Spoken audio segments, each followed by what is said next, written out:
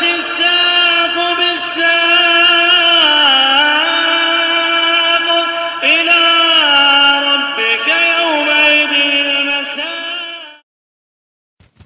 الله الرحمن الرحيم. الحمد لله والصلاة والسلام على رسول الله وعلى آله وأصحابه ومواله أما بعد.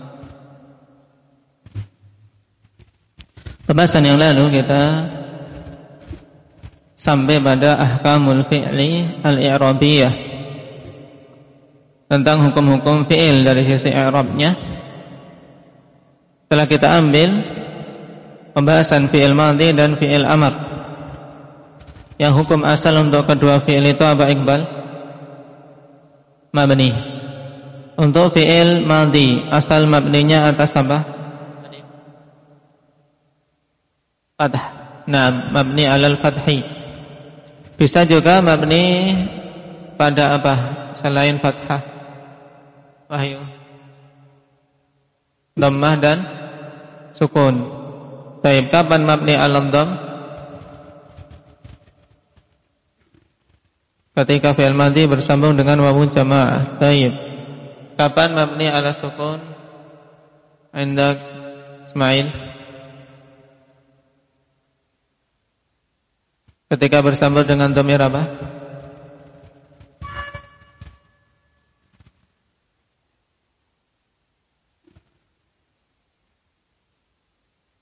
Domir rafa mutaharrik.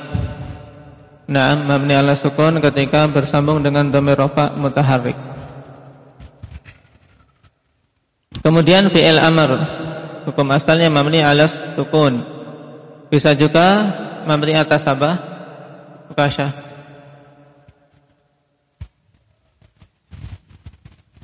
Hadfu harfil illah dan Hadfu nun. Juga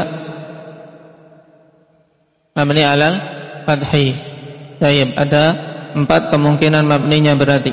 Mabni ala sukun Mabni ala hadfi harfil illah Mabni ala hadfin nun Dan mabni alal fadhi Tayyib Kapan mabni ala hadfi harfil illah? Indak Maulana.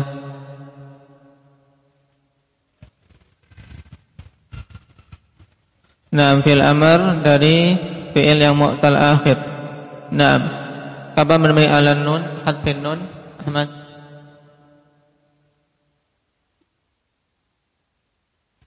Nah, apabila fi'il amr itu asalnya adalah al-amthilatul khamsah. Nah bersama dengan wawu jamaah atau ya mukhatabah atau alif tasniyah. Kemudian mabni alal fathi kapan nabil? Fil amr mabni alal fathi kapan? Apabila bersambung dengan nun taukid if'alanna atau if'alan tayyib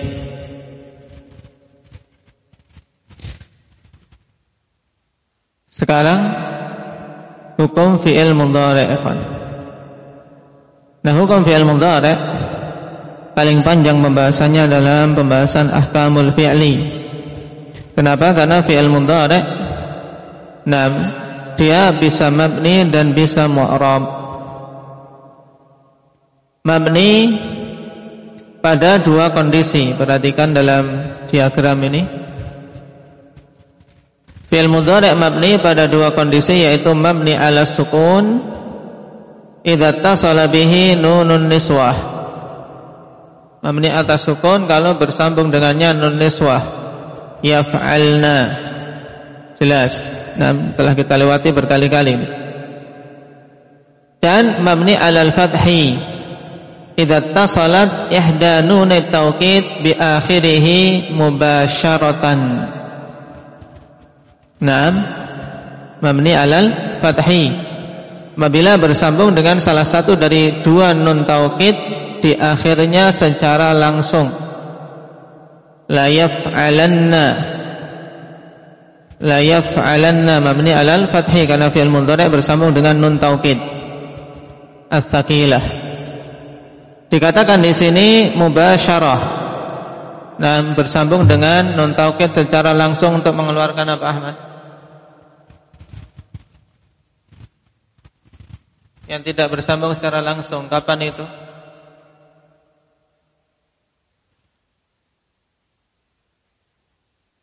Ketika fi'il mudhari'nya itu sebelum ditambah dengan nun taukid masuk kategori amtsilatul khamsah. Nah, telah kita lewati dalam pembahasan apa? Alif saraf. Maka diingat-ingat perinciannya. Kemudian hukum yang kedua yaitu mu'rab. Tayyib mabni ada dua kondisi, mabni ala sukun dan mabni ala al-fathi. Yang kedua mu'rab. Fi'il mu'rab. Berapa kemungkinan i'rabnya? Iqbal.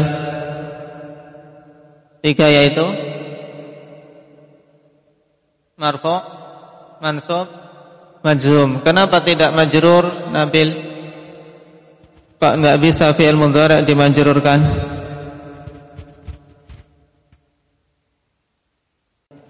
Nah, karena majrur itu khusus untuk isim. Nah, sekarang perhatikan kondisi marfu'. Paling mudah karena ini asal. Fi'il mudhari' marfu'. Apa yang menjadi amil yang merafa'kan fi'il mudhari'? Amilur raf'i at-tajarrud minan nasibi wal jazim. Amil yang merofakkan fi'il mudhari yaitu at-tajarrud. Minan nasibi wal jazim yaitu terbebasnya dari amil yang menasabkan dan amil yang menjazmkan atau kosong sama. Kosong tidak ada amil yang menasabkan dan amil yang menjazmkan maka fi'il mudhari diapakan wahyu? Dirofakkan nah amil tajarrud ini masuk kategori amil yang lafdiyah atau maknawiyah Maulana. Amil maknawiyah. Baik tajarrud. Di sana ada amil maknawiyah yang lain. Satu lagi. Karena amil maknawiyah yang rajih dalam ilmu nahwu cuma dua. Tajarrud untuk fi'il mudhari yang satunya apa ukasah ibtida untuk merofakkan apa merafakkan mubtada nam santa alamatul raf'i sekarang tanda-tanda rafa'nya nam tanda fi'il mudhari' yang marfu' ad-dhammah zahiratan wa muqaddaratan. Tanda rafa'nya dengan dhammah yang zahir maupun yang muqaddarah. Dhammah zahira apabila fi'il mudhari' sahih akhir walam yattasil bi akhirih syai' ini dhammah zahirah. Contohnya seperti apa? Qatala yaqtulu yaqtulu yaqtulu Muhammadun as-su'bana. Yaqtulu Muhammadun as-su'bana. Maknanya apa? Wahyu. Su'ban apa? Ular Muhammad membunuh ular itu. Tayyib. Yaqtulu berarti i'rabnya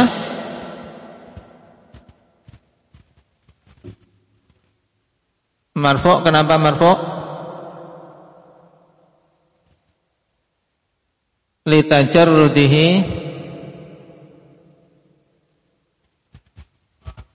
anin nasibi wal jazim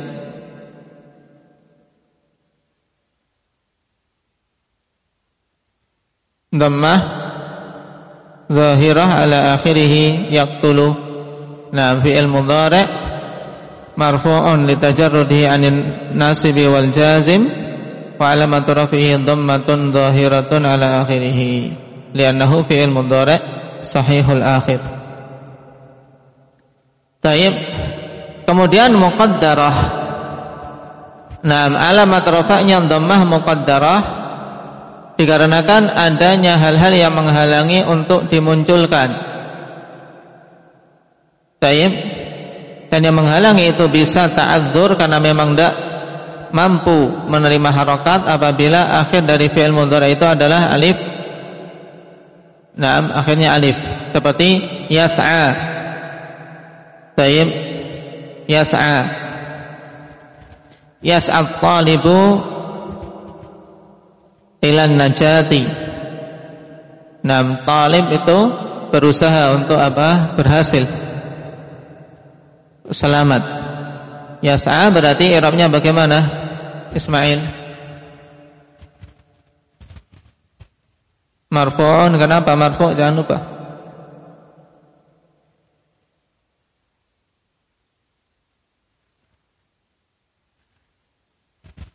Nah, fi'il mudhari' marfu'un litajarrudihi 'anil nasibi wal jazim wa 'alamatu raf'ihi dhammatun muqaddaratun ala akhirih mana min dhuhuriha at-ta'adzur.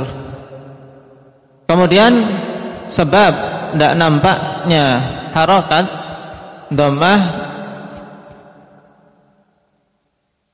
yang kedua yaitu astikal yaitu berat untuk diucapkan apabila fi'il mudhari itu enam. Akhirnya berupa apa? berupa ya. Atau wawu. Seperti yad'u. Yad'u enam. I'rabnya bagaimana? Yad'u da'i. Yad'u indak. Maka syairabnya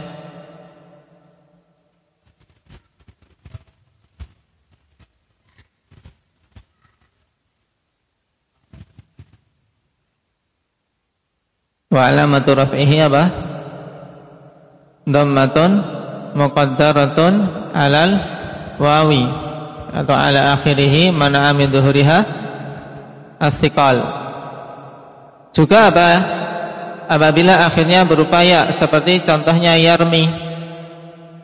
Naam. Yarmi sa'dun nablahu fi sabilillah.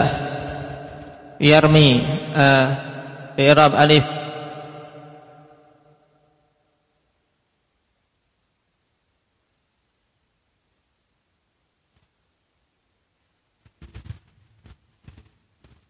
Naam. Kayak mana amin dhuhuriha thiqal.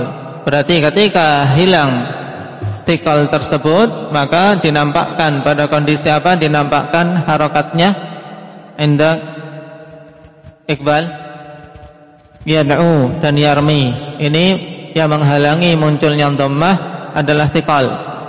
Tapi ketika tikalnya hilang harokatnya bisa dinampakkan pada kondisi apa? Kondisi nasab ketika difathahkan na'am.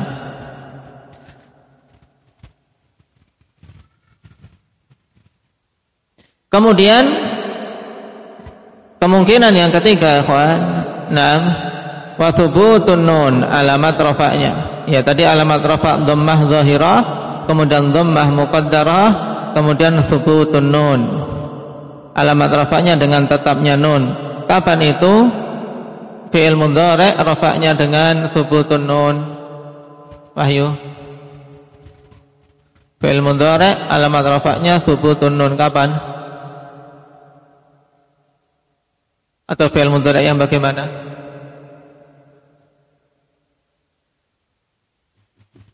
Fi'il mudhari' yang bagaimana? Yang alamat rafa'nya thubutun nun. Tayyib fi'il mudhari' af'alul khamsah. Yaitu fi'il mudhari' yang bersambung dengan apa? Yang masuk kategori af'alul khamsah. Bersambung dengan apa kasya awal jamaah atau ya muannatsa mukhatabah atau alif tasniyah Naam yaf'alani wa taf'alani wa yaf'aluna wa taf'aluna wa taf'alina ini semua marfu'nya dengan thubutun nun selesai dari fi'il mudhari' yang marfu' sekarang fi'il mudhari' kondisi mansub Tayyib. Nah, apa yang menjadikan fi'il mudhari' mansub? Amilun nasbi an-nawasib. Tayyib, yang menjadi amil yang menasabkan adalah an-nawasib. Nawasib jamak dari nasibun. Amil yang menasabkan. Alamatun nasbi sekarang alamat dari nasabnya fi'il mudhari' yaitu al-fathah zahiratan wa muqaddaratan wa hadfun nun. Alamat nasabnya adalah fathah, baik yang zahir maupun yang muqaddarah. Naam dan alamat yang ketiga hadfun nun. La yad'uwa. Naam. La yas'a. Adapun hadfun nun ini pada af'alul khamsah.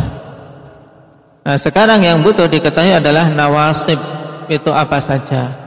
Amil-amil yang menasabkan fi'il mudhari apa saja? Untuk perhatikan di sini nawasib nah dibagi menjadi tiga pembagian. Binafsiha ada empat, wabi'an mutmaratan jawazan ada satu, Wabi'an mutmaratan wujuban ada lima. Sehingga yang disebutkan di sini ada berapa nawasib keseluruhannya? Sepuluh. Nah, nawasib asyarah sepuluh. Yang menasabkan dengan sendirinya ada empat yaitu an, lan, kai, idhan ya. An, lan, kai, idhan. Tayyib. An harfu masdariyah. Wa nasbin wa istiqbalin. Ini yang pertama. Menasabkan dengan sendirinya. An. Cara mengirabnya tayyib. An harfu masdariyah. Wa nasbin wa istiqbalin. Atau di nam di balik-balik bisa ikhwan. Harfu nasbin wa masdarin wa istiqbalin seperti pada contoh jumlah misalnya buat contoh jumlah. Uridu an asuma ghadan. Uridu an asuma ghadan. An asuma an apa irobnya tadi? Iqbal. Harfu nasbin wa masdarin wa istiqbalin mabniun ala ala sukun la mahalla min al i'rab. Yasuma atau asuma. Hah? I'rabnya bagaimana? Asuma.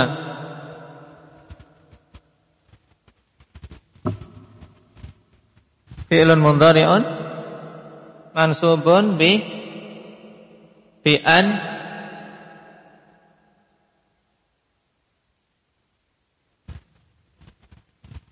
wa alamatu nasbihi fathatun dhahiratun ala akhirih taib. Kemudian lan. Lan harfu nafyin wa nasbin wa istiqbalin. Nah dan yang rajih lan tidak menafikan secara abadi ya Pak. Berbeda dengan zamakhsyari. Tapi lan menafikan nah sebagaimana keumuman yang lain Adapun penafian secara terus menerus atau tidak tergantung kepada korinah yang ada pada jumlah. Yang ketiga kai harfu yatin wa nasbin wa seperti an. Yang keempat idzan harfu jawabin wa jazain wa nasbin wa tansibu bi thalathati. Ini idzan harfu jawabin wa jazain wa nasbin wa istiqbalin menasabkan dengan tiga syarat. Nah, syarat-syaratnya insyaallah kita ambil pada pertemuan yang akan datang. Baik, di murajaah dulu dipersiapkan sehingga lancar ini ibarat murajaah saja dari pelajaran muyasar juga mumti'. Nah, naktabi bihadza subhanakallah.